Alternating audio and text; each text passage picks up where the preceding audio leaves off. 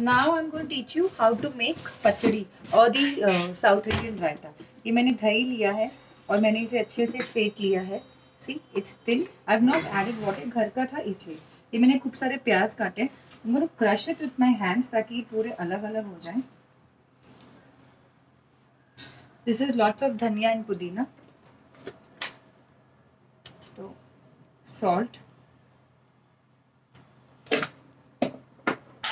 wee bit of sugar.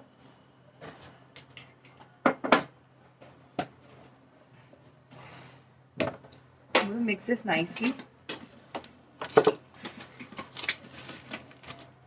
वैसे तो south Indian इसे बारीक भी काट के बनाते हैं। दही कम होता है, पतला होता है और प्याज ज़्यादा होते हैं। So since the south Indian is making in the north India to please family I have to have loads of देंगे सारे प्याज। खूब सारा धनिया और पुदीना बारीक कटा हुआ।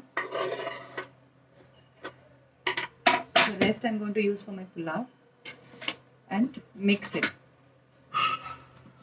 हल्का सा प्याज को क्रश करते हैं। Since my kid is going to eat this I am not adding green chillies once he eats I will add finally chop green chillies to this and hog it myself so this is my chatpat pyaz ka raita, South Indian style. Thanks for watching.